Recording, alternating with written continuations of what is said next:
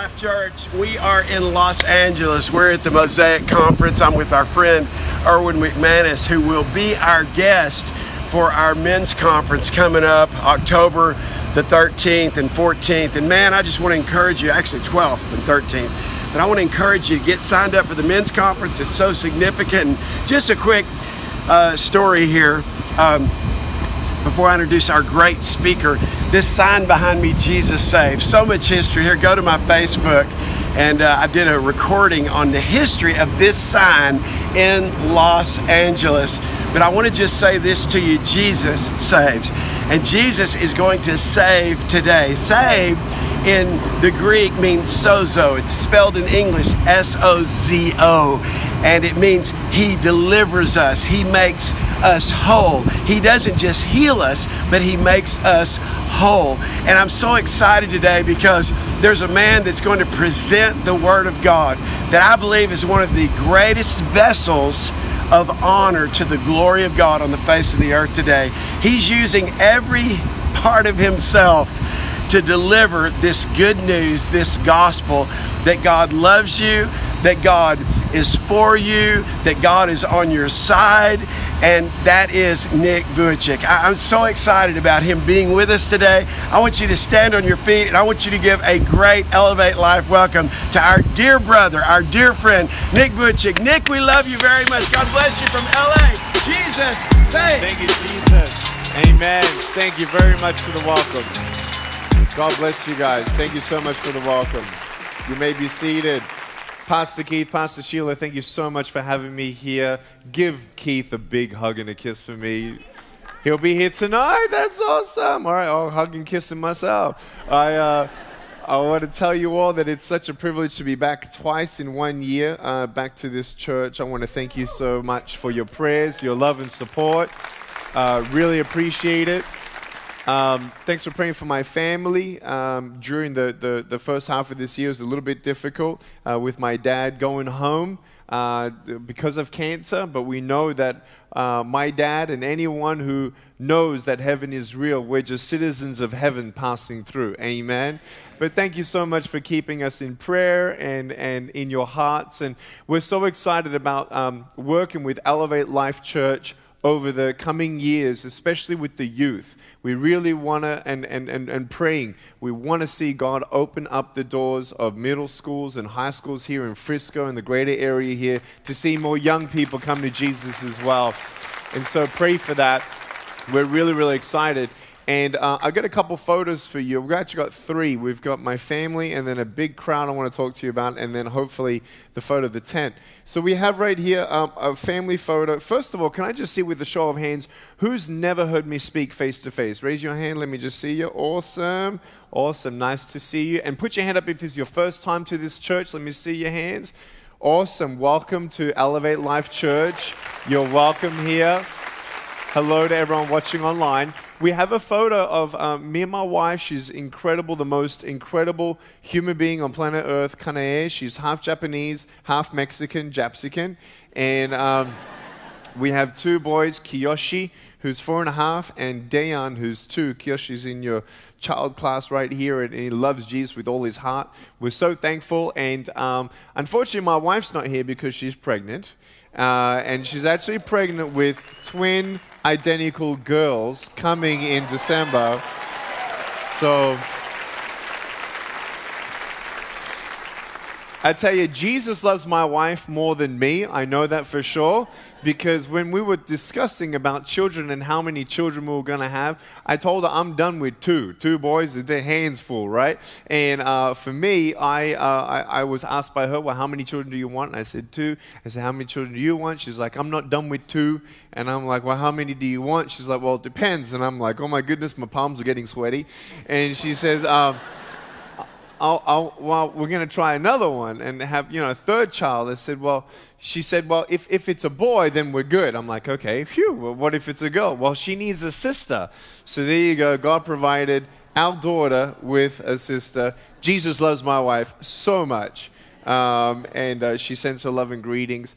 I also want to share with you um, a big crowd photo. This was last Sunday um, when anyone prays for life without limbs Uh, that video now needs to be updated. We have well overgone 1 million souls for Jesus Christ because and that video was just updated like three weeks ago. But, but that photo is 800,000 people in Ukraine. For as far as you can see, the crowd actually goes around that corner.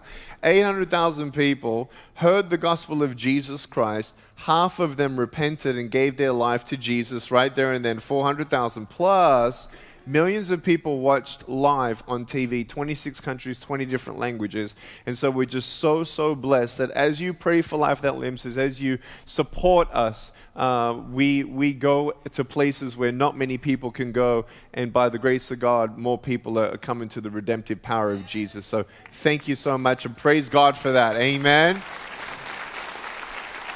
And finally, I think we have a photo of the tent. Uh, I didn't bring it up on the other services. Great. This is one sixth of the tent. Uh, the full tent fits 8,000 people. This is 1,000 chairs. Uh, Going to be preaching in that tent 14 nights in a row starting October 23 to see 14,000 people hear the gospel of Jesus Christ in California.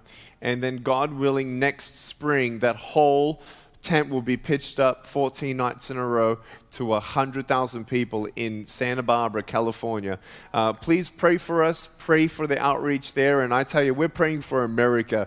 We, we want to see a million people gathering for the name of Jesus uh, in Mexico because of especially the, the earthquake. We pray that, that the government would open up the door there soon. I've been to Mexico 30 times, sometimes on a motivational level, but really it, it's ripe for a million people there. And we're praying for America that many, many cities would have filled city step halls of a million people hearing the gospel of Jesus Christ. We need Jesus in this country like never before. Amen. So we're so blessed. We're so thankful.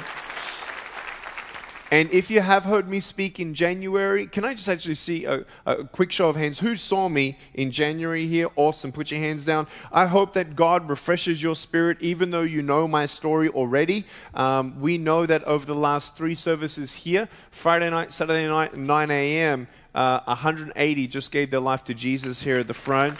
So thank God for that. Many visitors come through the church and um, I'm just going to be trusting in God that even if you heard me in January, that there'll be some fresh things that you've never heard before. Um, Proverbs 3, verse 5 and 6 is the scripture I want to open up with. And it says, Trust in the Lord with all your heart. Everyone say, all your heart. Now, in an Australian accent, everyone say, heart. Very good. I'm just joking. Trust in the Lord with all your heart. Lean not upon your own understanding. Acknowledge Him in all of your ways, and He will direct your paths. You know, my parents always taught me to acknowledge God and be thankful for all the blessings because every good gift comes from God. Many people don't believe in the love of God because of the pain that we see in the world. But we know that the Bible says that God is not the person going around the earth like a roaring lion seeking to devour, kill, and destroy. We know that God is real and so is the devil. We know that that is the devil. We know that there is no sickness, disease, or death that was caused by God. It was caused by sin. And it's all in here Adam and Eve in the Garden of Eden.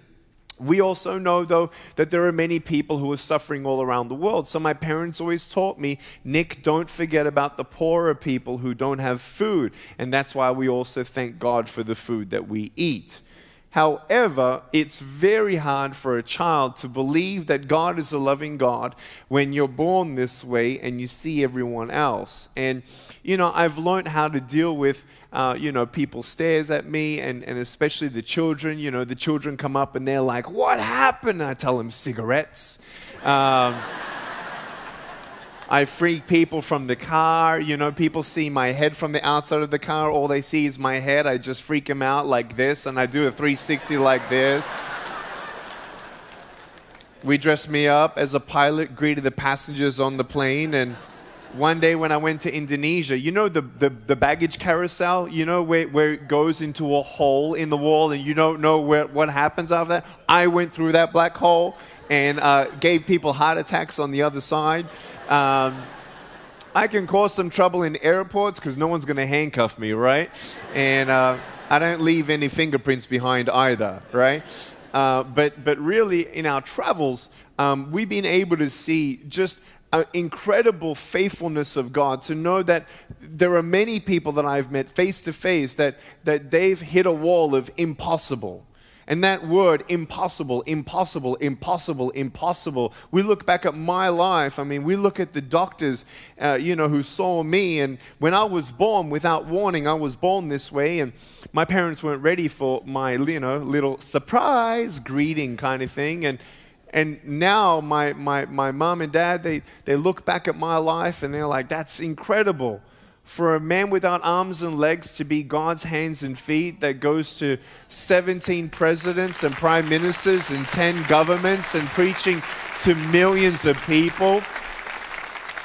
You know, uh, God uses the foolish things to confound the wise. And, and what that means is when, when it doesn't make sense in your head, to have peace, when it doesn't make sense in your head that God is still in control, when it doesn't make sense in your head that, well, where is God? That God is still faithful. And the beautiful thing is that His strength is made perfect in your weakness you know that I'm just like you. It's not my positivity, it's not my strength, it's not my nothing.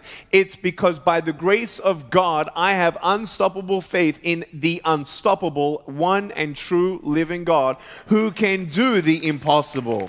Amen. He can do the impossible. And as a kid, I prayed for arms and legs, and today I have a pair of shoes in my closet just in case he says yes. Um, but I've seen 13 miracles right in front of me blind people seeing, deaf people hearing, crooked backs come straight, even in my own back. I, at 19 years old, the year that I started ministry 15 years ago, I uh, uh, went to the doctor and I was having like a pinching. Uh, of my spine, a couple nerves, and I couldn't feel my hands for a couple days. And um, I, I got, a, got an MRI scan and came out, and the doctor came out with the results, and he says, Well, I've got some bad news. I said, Okay. And he said, You were born with a rare disease. I know. He said, No, you were born with the syrinx, which is a degenerative disease in your spinal column where your bone of your spine will actually turn into nothing. Uh, we will have to brace you up in, um, with metal rods with screws, and you will basically be in bed by age 40, 45 years old, unable to move. And I'm like, Thanks we prayed and he told me that we couldn't do anything we can't reverse it we can't slow it down uh, when you look it up it's, it's medically uh, irreversible um, impossible everyone say impossible yeah. 10 years later, though, I got a, a, a, a, checkup and I didn't have three holes in my spine. I had two. And the doctor's like, hmm. And I'm like, mm hmm. two years after that, one hole. November 2015, no holes. And the.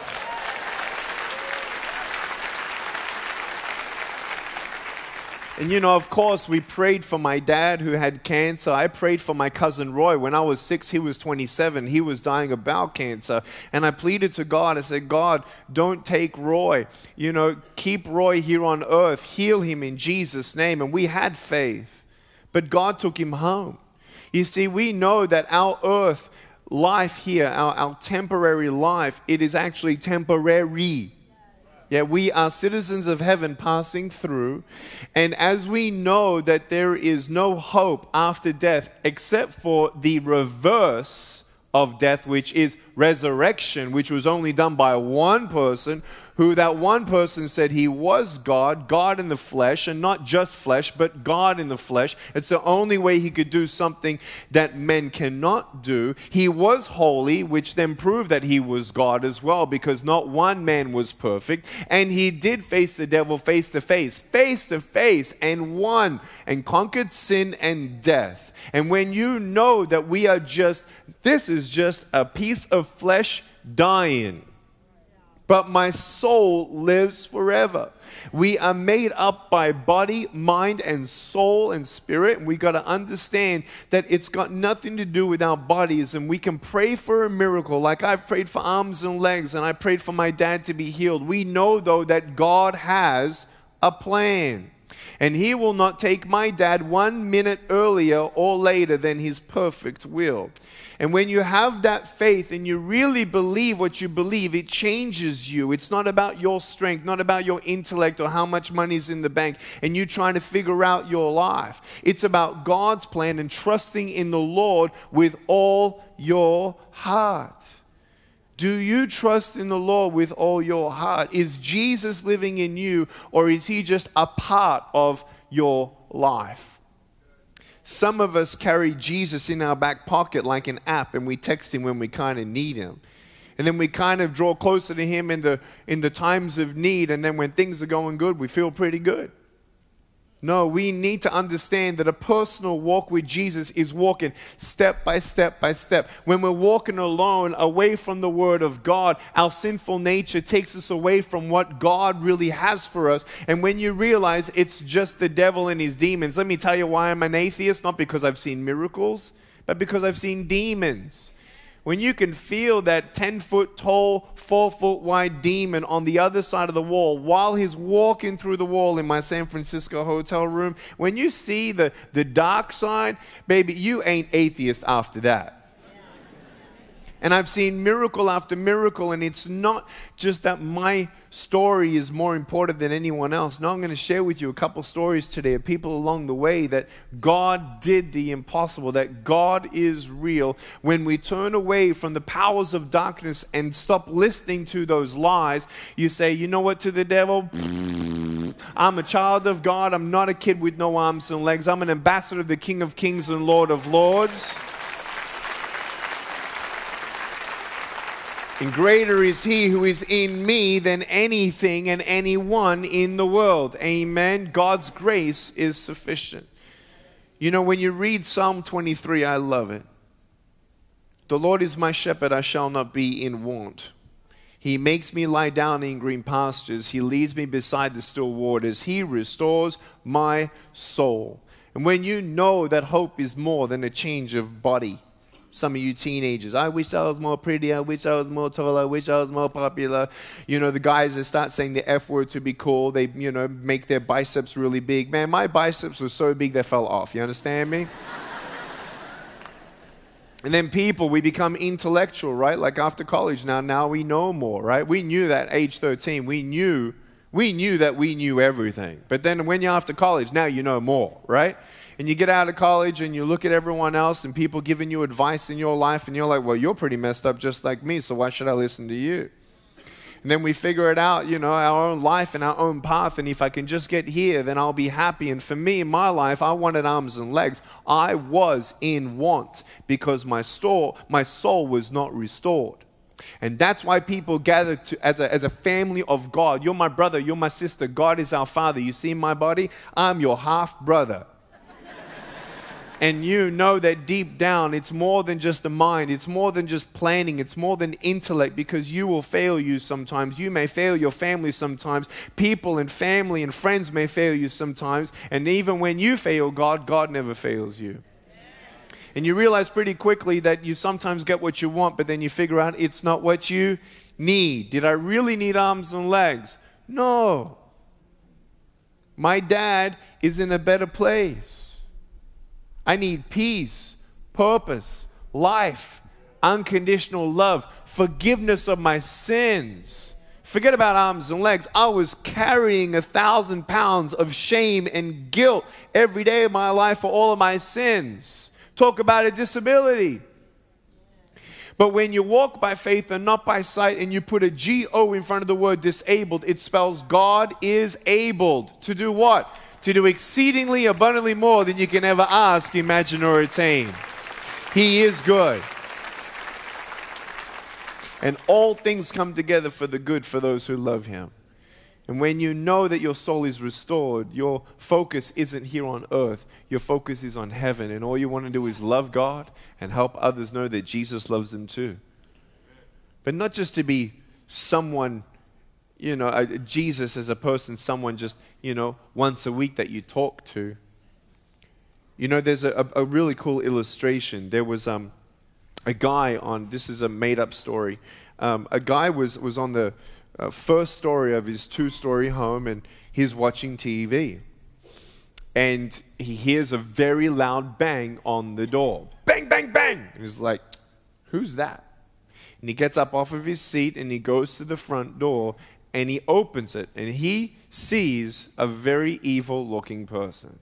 He says, Who are you? He said, Hello, my name is the devil, and I've come here to steal, kill, and destroy.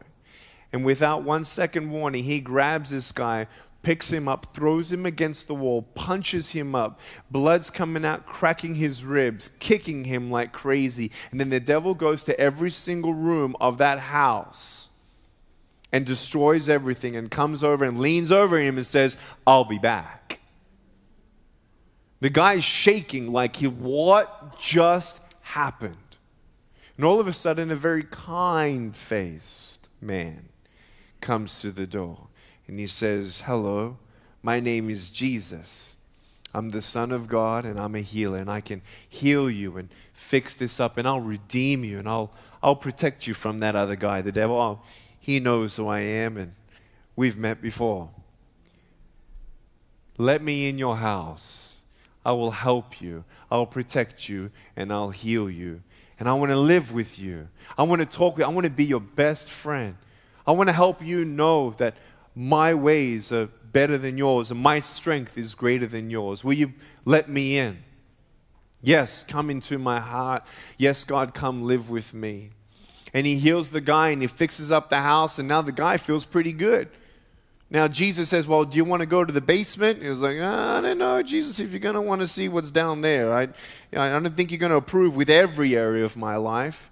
You know, some of you teenagers think that you're a Christian just because you come to church on Sunday and then you go to school on Monday and you tease and gossip and tear down people with words. I doubt if you really know the love of God.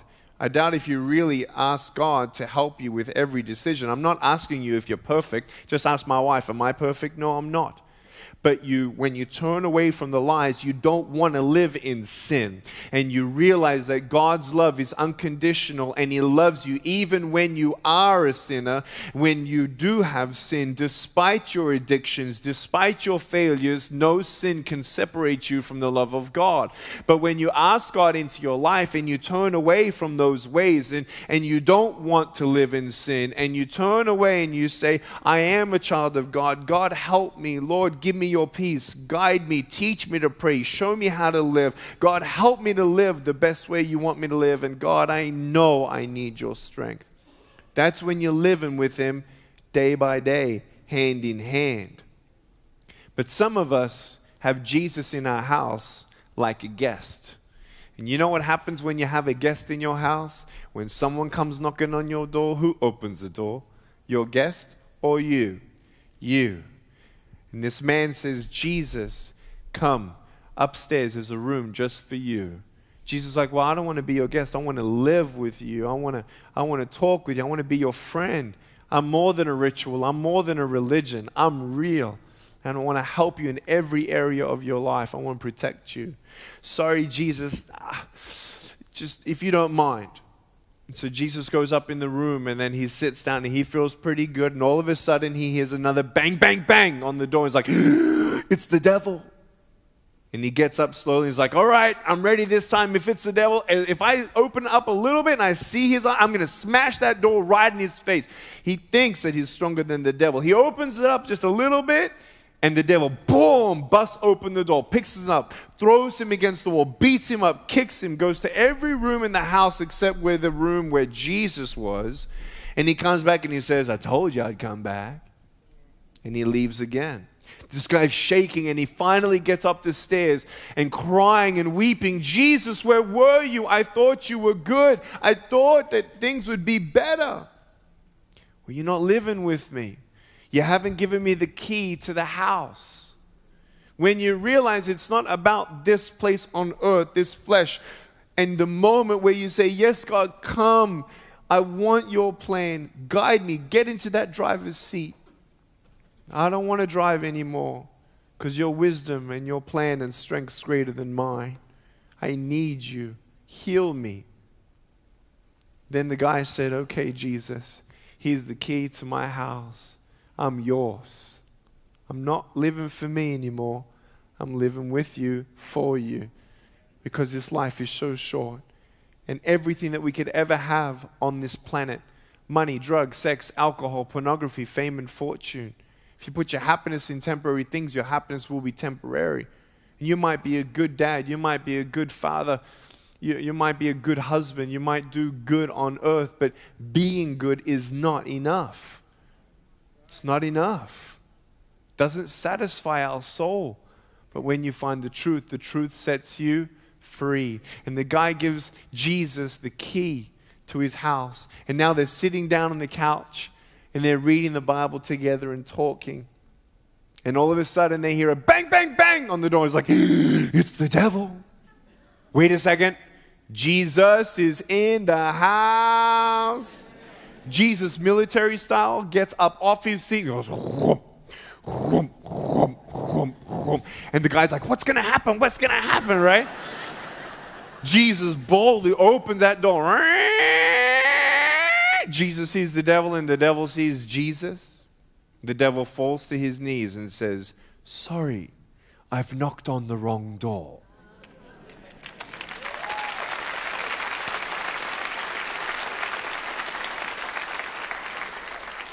And when Jesus is living in you, no weapon formed against you shall prosper. Yea, though I walk through the valley of the shadow of death, I will fear no evil. When you have found something to live for, you have found something to die for. And in 2002, at age 19, I went to Indonesia for the very first time, and we took a DVD, or uh, 2003, a DVD recording of my preaching, and we went there, and I spoke six nights in a row to about, I don't know, 80,000 people over six, seven nights. If you know anything about Indonesia, that's not always easy to do in a country like that. And so we were able to do that, and we're so thankful for the harvest of souls that came in tens of thousands. It was amazing. And for us, we just were excited. But then what happened? We got an email when we came back, and I got an email to say if Nick ever comes back to this country, we're going to kill him. And what was really amazing was obviously we don't put us in danger where we are not really welcome, but really when you are where God wants you to be, there's no safer place to be. God called us back two, three years later, and we went back to Indonesia, and the same thing happened again, but this time we got an email from that same person, but the email was a little bit different. He came there to kill me, and he confessed that. But he said, But Jesus got a hold of my heart, and I gave my life to him instead. Unbelievable. Impossible. Everyone say impossible. God does the impossible. Amen. And during the Sunday when I was there, I was speaking four times in the morning, three times at night we went to a Chinese restaurant to go eat, and it's really funny when I walk into a public place with my caregiver. When I have no wheelchair, that you know, because the steps are everywhere, he kind of just carries me, and we look like a, a, a, like a Siamese twin kind of pair. You know, like I'm facing this way, he's facing that way, and he's carrying me in, and we're just laughing at everyone, and they're like, whoa, you know. Uh, we sat down in the VIP section and, and we sat down with about 10 or 11 people, pastors there at Indonesia, uh, and the team that brought us there. And as soon as we sat down, we're looking at that menu, and I saw a 17 year old girl, 18 year old girl come to the door, Indonesian girl. And she's weeping and weeping and weeping and weeping. For three minutes, she's trying to talk. She can't talk. Then she finally talks, and then the people at my table started crying. I'm like, Can someone tell me what's going on? They said, Nick, this woman is called Esther. She grew up and lived all of her life on a trash dump with her family in a house very small made of cardboard, cardboard and wood and tin and sheet metal. And they would pick up plastics on the trash dump and pick up the plastics and sell it back to the recycling plant. And that's how they got enough rice to survive. Her biggest asset and precious thing that she ever had was her family. And then when her mom and dad divorced, she felt like her life was over. She got so angry at God. God, how could you do this? Do you know that the 50% of the people in my life that actually don't believe in God, 50% of it is because they have pain in their life or they've witnessed pain and they say, if God is a God of love, then why is there famine? Why is there pain? So she fell into that category at that moment as well. She said, God, you're not real. And even if you're real, pff, you got some explaining to do. She wrote goodbye letters to all of her family and she decided that on Monday she was going to commit suicide.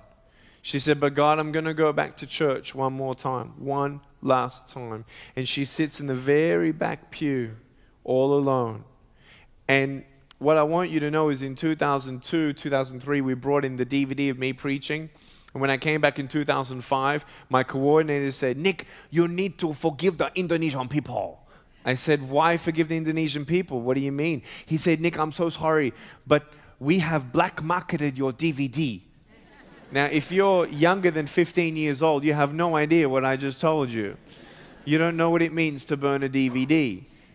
Okay, I'm sorry, but we used to copy movies and DVDs before the internet really kicked in, okay? And they say you really made it when you're black marketed back then, all right? he said, The DVDs are everywhere. And I said, That's awesome. He said, You're not angry? I said, No, I didn't care. But people made a lot of money off you. I said, Don't worry about it. Praise God, the gospel's preached.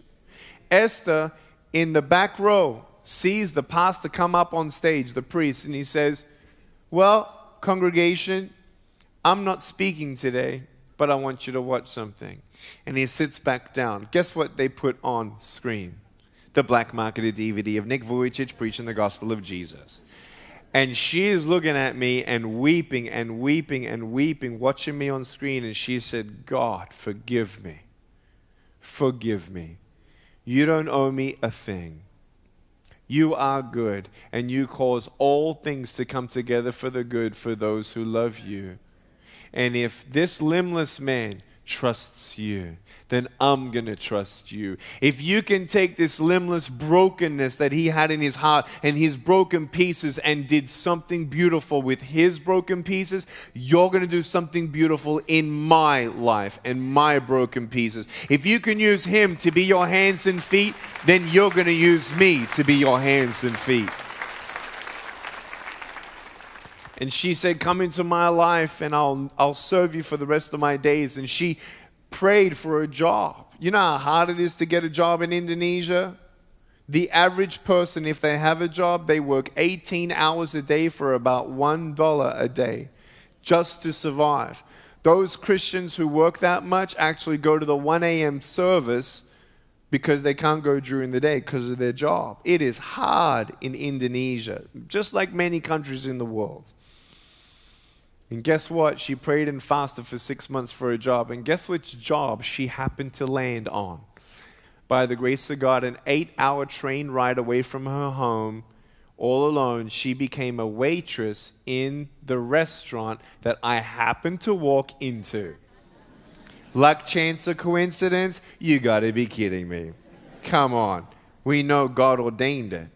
And she came in there, and I said, Wow. I said, So so you live around here? She says, I sleep on this floor. I said, Excuse me? She said, I sleep on this floor. And I'm thinking, man, I didn't even want to eat here. I saw a cockroach just as I was walking in. I'm like, she sleeps here, and I'm looking at all the other waiters. I'm thinking, just imagine what other employees or employers are actually abusing her, maybe to manipulate her and pressure her to do something. I was just like going through my mind. I'm like, I'm so sorry that you sleep here. She says, Yes, I work 18 hours a day. I said, What do you want to do in your life? She said, I want to be a youth pastor. She said, But it's impossible.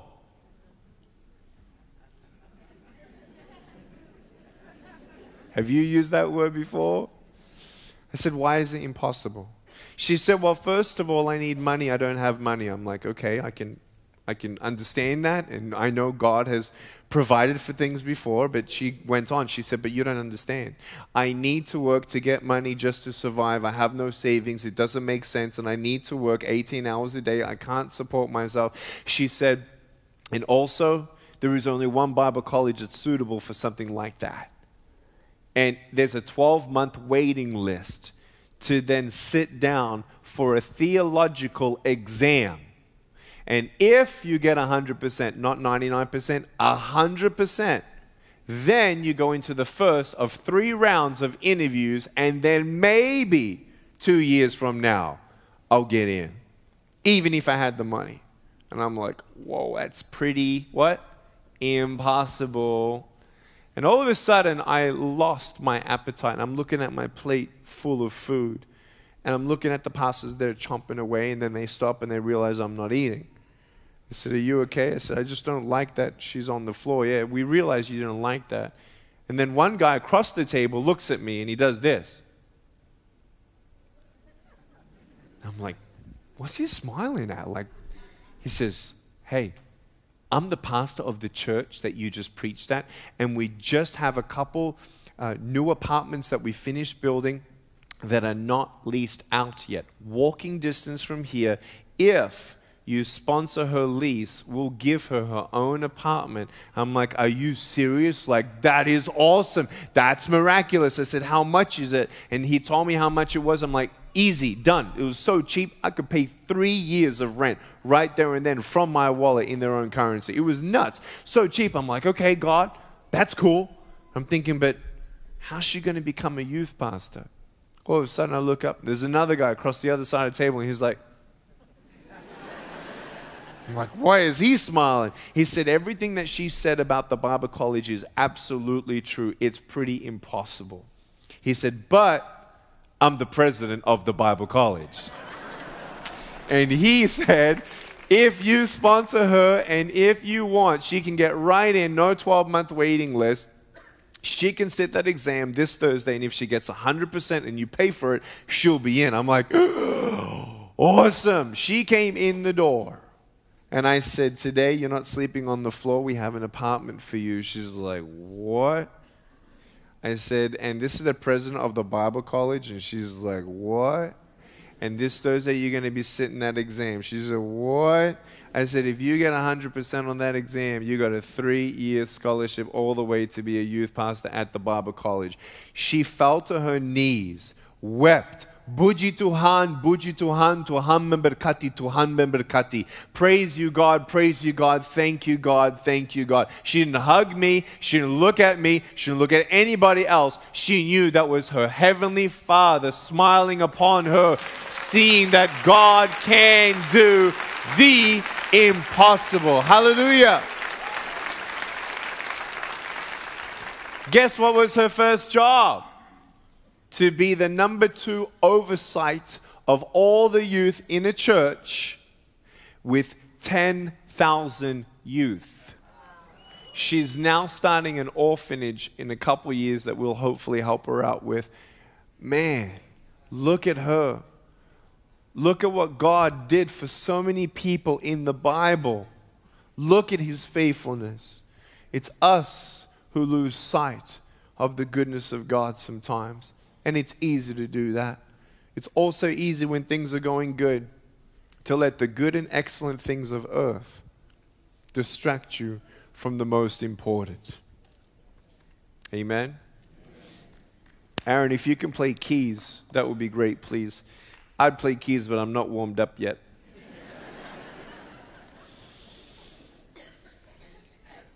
I want to ask you today are you quite done yet taking the responsibility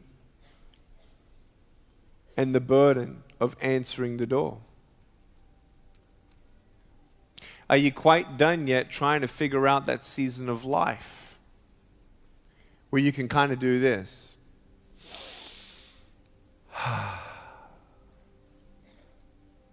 you know, I heard someone say that ministry should be easy, and I I can't, dis, I, can't, I can't agree with that. There are many stories of how ministry was very difficult for people. I've seen it with my own face. Seen them, how hard it is sometimes to be in ministry. Life is never promised to be easy.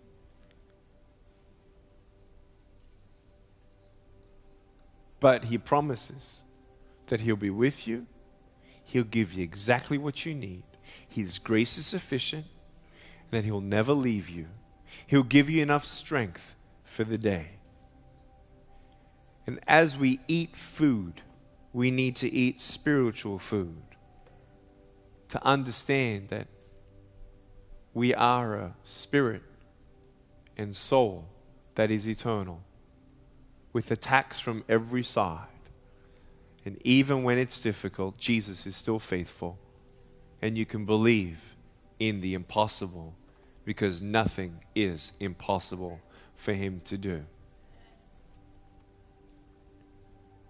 30% of the friends that I have who don't believe in Jesus, they say, Well, I can't just believe that it's that easy to just receive God as my Savior. Yeah, it wasn't easy for Jesus. He was shaking and trembling in the garden before they came and took him away. I don't know if you've sweat out of fear, but Jesus sweat blood out of fear. He knew what was coming.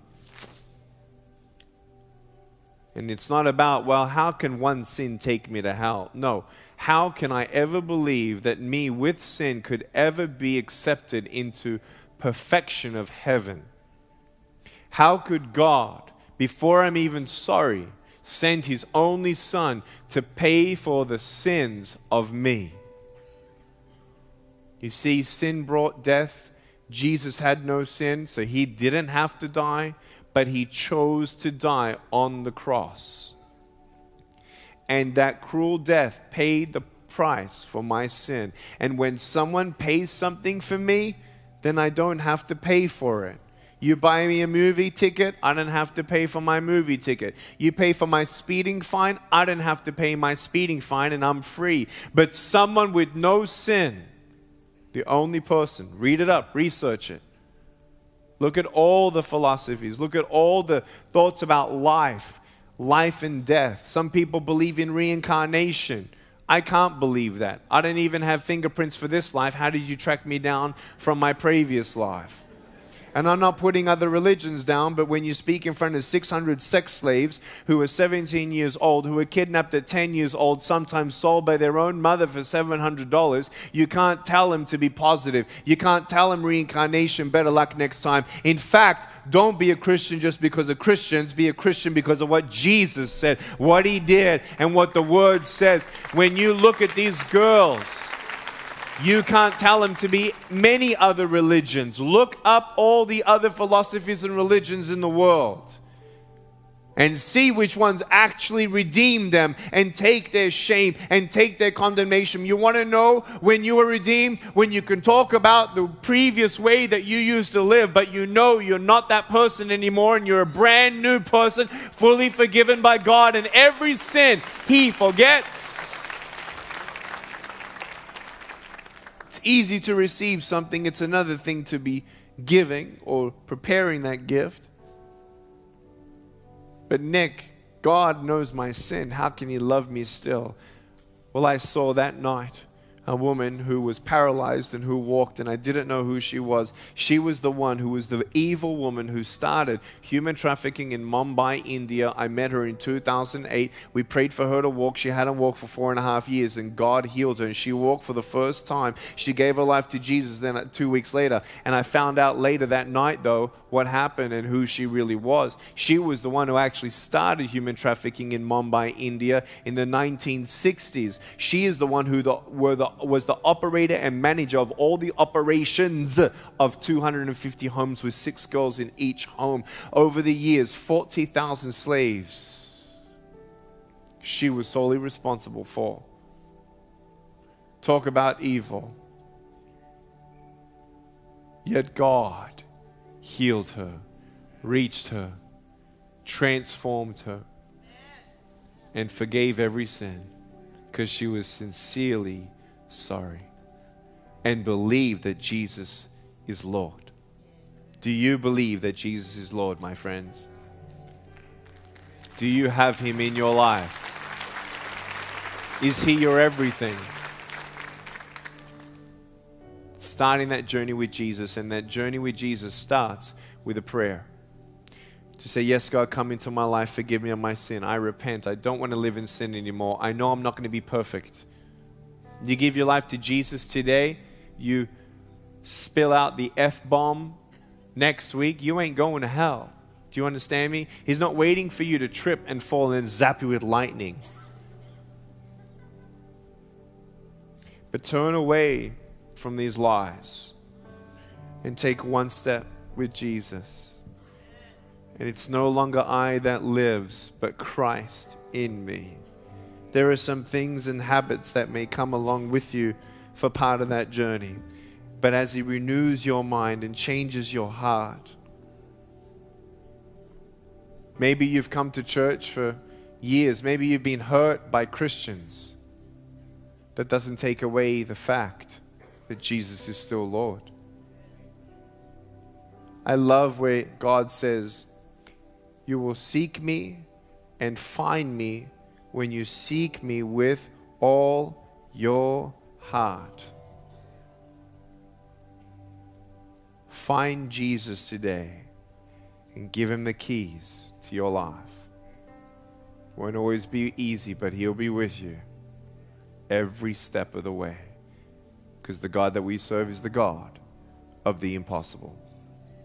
So, right now, from the front to the very back, I want to give you an opportunity to respond with a prayer. And I want to lead you in that prayer that is your first step in your faith journey with Jesus Christ. And in a moment, I'm going to get you to come forward and just stand on the floor and I'm going to pray a prayer with you. Why do I get you up here? Because if you can't stand up for a faith decision here, in a moment like this, in a building like this, if you cannot stand up for your faith in here, how do you expect to stand up for your faith out there? You don't have to be worried as you come up. I'm not going to lay hands on you or anything. But over the last three services, 180 people have come forward. And maybe this is the day of the salvation of your soul, where you can say, you know what? I may be hit on every side, but I'm never going to be destroyed because my God is with me and He's going to heal my heart, transform me, take care of my depression, take care of my afflictions, take care of my enemies. Not me, Lord, anymore. You. Some of you teenagers think that you're on a fence. There's no fence. You're either living for God or not. Some of you older men, my brothers, it's time. You're getting older. We're all getting older, aren't we? Tomorrow's not promised for anyone. But for the sake of you and your family, will you make your life right with God? Are you quite done yet trying to figure it out? So, right now, I'd like to invite you right now that if you know you need to make your life right with Jesus, don't wait for the first person, be the first person. I want you to grab your things. If you know God's knocking on the door of your heart, it's His kindness that leads us to saying, Sorry, I repent. You've heard the kind voice of God. Answer the call, answer the door, and let Him in. So, right now, if you grab your things, stand up and come on down. When you see someone move, I want you to clap as an offering of glory to God for people making their life right with Jesus. Let's all stand to your feet so people don't have to jump over you, especially if you're at the folding chairs. Back up just a little bit so people can pass by. Come on, right now, all across this place, if you know that you need to make your life right with Jesus, put one foot in front of the other. He will rescue you, He'll redeem you, He'll set you free, He'll give you the strength that you need, the discernment. He has a plan for you, a plan impossible to do in your strength.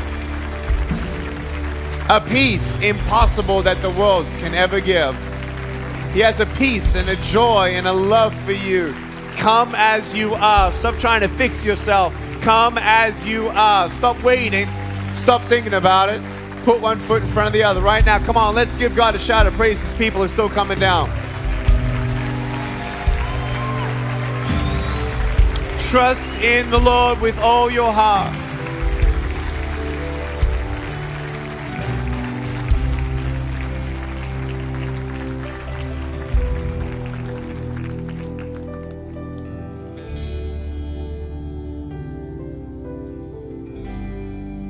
That's 93 ish up the front. 93. I believe we might be It's just a good guess, but I think we're going to wait for another 45. So I'm going to wait. There's one. Can you turn up the lights just a little bit so I can see a little bit the house a bit better? That's two more. Thank you. We're going to wait for 45. You know, if you're thinking of thinking of it, this today is a special day. This is a holy moment. And maybe, maybe, maybe you want to come up here, but you don't want to come alone. If you're somebody today to say, you know what, I want to go up there, but I don't want to go alone, here's the trick. Turn to the person next to you and say, here's the trick. Right? If you want to come up here, you know you need to say this prayer. Here's the trick. Turn to the person next to you and say, Hey, I want to go up there. I want to give my life to Jesus. Enough is enough. I need to surrender my life to Him. Will you come up with me? I don't want to go alone. Will you come with me? They'll say, Certainly. One, two, three, four, five, six, seven, eight, nine, ten, eleven. Come on down. 12. Come from the very back, very top. Come on down.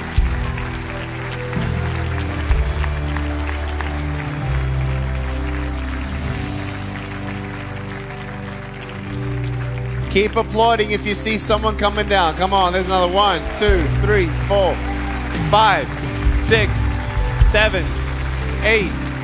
Last call, final call. Nine.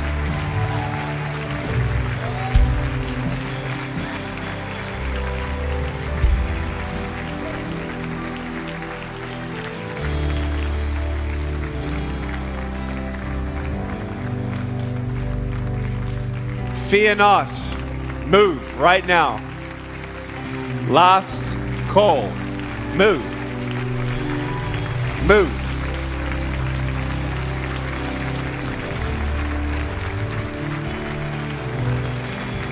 Praise God.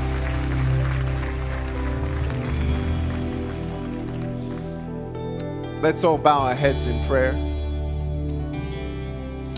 Heavenly Father, we come before you and we thank you so much for who you are. Thank you for your love. We give you praise, and all the honor and all the glory goes to you. Father, we thank you for what you've done and reminded us that you're a good God and a God of the impossible. We thank you in Jesus' name that we can come before you and ask you for anything because all things are possible. Yet, God, help us with faith to trust in you with all of our heart and to not lean upon what we see or what we think or what we hear, but Lord, what we know from your word. We thank you, Lord, that you are faithful. You are a merciful God. You are a forgiving God, a God that transforms, redeems, and fully heals. Father, we thank you that you hear our prayers. And we pray right now in the name of Jesus for every prayer request. Lord, whatever prayer request we have, we uplift that in the name of Jesus, but especially those who are suffering, Lord God, physically. We pray for physical, miraculous healings all across this place. Those watching online, physical, miraculous healings, all in the name of Jesus. We pray for them right now. In the name of Jesus, be healed. But Lord, greater than a physical miracle is the miracle of knowing you. And we thank you and give you all the glory for the people up the front who are starting their faith journey with you. If you're up the front, please repeat after me. Say, Dear God, I come to you today and I thank you for your love, for your plans.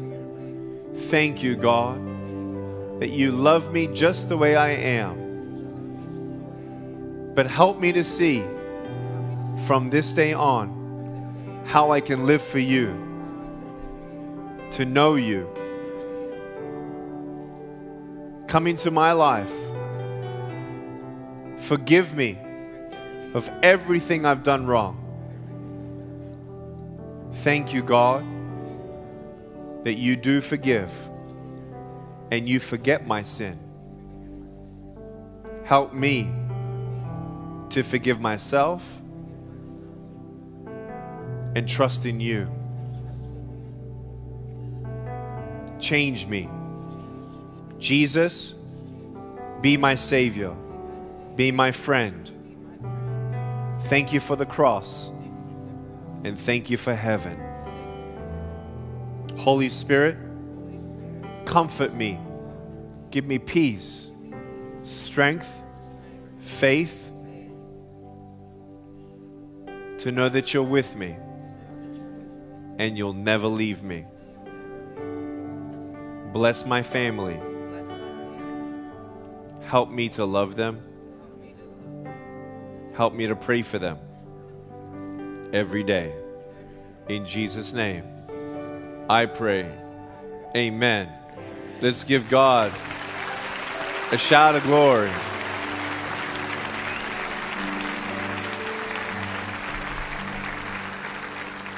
Those of you who are up the front, I just want you to look at me. Everyone else, if you're at a seat, have a seat so we can actually see how many people are up the front. There are at least 160 people up the front, 150 people. Let's give God a shout of praise. Amen. If you were watching at home, please email the church. We'd love to connect with you. We want to connect with you. What we want you to know is this church loves you no matter what. If you need groceries, this church will give you groceries. If you don't have a safe place to go home tonight, this church will do all that we can to make sure that you're protected. Do you understand? We love you just the way that you are. You need counseling? Great. We'll give it to you for free. And it's all biblically based. It's so much more than intellect. It's the Spirit of God that now lives in you, and one day at a time, He gives you brothers and sisters in this church to help you with every step of the way. No matter how good you feel today, right now, that you might actually wake up tomorrow morning and say, okay, what do I do now? I said that prayer. What's the next steps? We as a church, our responsibility is to be committed to your commitment to Jesus Christ. To answer any questions as best as we can. We're not going to pretend that we know all the answers, but we'll, we'll, we'll tell you right now, we promise that nothing you'll ever tell us will ever change what we think of you. And we love you, just like God loves you. And every step of the way, we want to meet you where you're at. Remember, I'm your half brother. All right? We're a family now family cares for each other when they're a loving family. Maybe you've never had a loving family. Maybe you never had a father. You know what the Bible says about that? God is the father to the fatherless, and He'll redeem you. So be patient as God works in you one step at a time in that daily journey with God. You should have received a little packet. I want you to pick up that packet and put your hand up if you did not receive a packet as you came up. And uh, it's really important that you get a packet at least one per family. There's a couple up here. Keep your hand up until someone gives you a packet. I want you to grab that pen and I want you to pull out that contact card. Let me tell you what we're doing here. Now, we're never going to pressure you to do something you don't want to do, okay? But really, as a as a commitment from us, we want to know how do we pray for you? How can we help you? Can we invite you back to church? Can we pray for your family? Maybe your family needs some specific prayers. We want to stand by you and your family for their breakthroughs as well. And the reason why we'd like you to fill out that card is so that we can call you, we can email you, and help you to know okay, how do you really now get back into a church or the family of God and learn how to read the Bible and feel free to ask questions. And maybe it's a Bible study, maybe it's just coming back every week. Maybe it's you also knowing the next steps as far as baptism and what is baptism. We'll never force you to do something you don't want to do, but we want you to know that, that God loves you. This is the beginning. We want to help you with the next step. So, right now, take a minute, grab that card out of that uh, uh, packet, and start filling out the contact details that you feel comfortable to give us. We'd love to see you. You should have all received a packet. Uh, would you like one as well? Yeah, can we have one right here? Anyone else who did not get one, please fill it out. And from the front, someone will grab that card in a moment. Pastor Sheila, can you please come up on stage? Well, we're so proud of you guys and this decision that you've made. You know, all of us at some place have come to this place in our life where we've either we did it for the first time or we are stepping up saying, you know what, I'm recommitting again. So no matter where you are today in your journey, you know, sometimes we just have to step up again and say, you know what, I'm recommitting again because maybe I've fallen away and I just want to just just answer the call because you know what it says in God's word that he stands at the door and knocks. That's what he was doing today. That's how you ended up here. Jesus was knocking on the door of your heart, and all you did was open yourself up to him, and that's all he wants. Is you just to remain open. We're not perfect. None of us are. I don't care how long you've walked with God. You're not perfect. We have to continually go back to Jesus and say, I've fallen short. I've sinned. Please forgive me. And so don't beat yourself up, just like Nick was saying, because none of us are perfect. And I'm going to tell you, I'm so proud of you. I see the tears. You are precious in God's sight, and He loves you. He's got a great plan for your life. And it doesn't matter how old you are or how young you are. You know what? There's a great life ahead for all of you. And so we're just so thrilled for all of you that have made this decision. But we want to make sure that we have that record of you making that decision, that you've got it dated. You know, this was the day that God did something new in my heart and my life. I will never forget this man that stood on this stage, and from this day forward, my life forever changed. Aren't you glad that Nick came to Elevate Life Church today? That your life was touched? Yes, we have been so blessed. Just like he talked about, we all have broken pieces. And many of us are broken. And you know what? It's easy for us to see that in Nick where he doesn't have arms and legs. But you know what? It's no different for us. There's broken pieces on the inside of all of us. And that's why we need a Savior who loves us. He loves us unconditionally and He has a great plan for all of us. And so, um, what I want to do is just make sure that we get everybody's cards. So, if you'll just hold them up in the air so somebody can come by and grab those cards from you. And just like Nick said, if you'll allow us to, if you put your phone number on there, we'll call you. We'll pray with you. You may say, I don't know what to do next. I don't know, you know, what do I do? Can being a part of Elevate Life Church, what does that mean? This is not membership for you. This is just you saying, I'm making a new decision for Jesus or I'm committing my life to Jesus. And so, also, we want to encourage you too that after you give the cards, just remember tonight there's somebody that you know that you said, you know what, I've made this new decision. And uh, or I have a neighbor, I have a friend. This is Invite a Friend Weekend. We're going to do this again tonight at 6 o'clock, and Nick is going to be with us. He's going to have a powerful word. And you know what? The same thing's going to happen. People are going to come forward and people are going to give their life to Jesus. So if you can think of somebody that you say, you know what, I want to invite a friend and I'm going to come back tonight because we just believe this building will be full. And then maybe for some of you, you say, you know, I love his ministry and I love what he does. And I love how he gives hope to people that feel hopeless. And you know what? I want to support him. I want to do this on a monthly basis you can actually go today to a room. It's our conference room, and the ushers will direct you.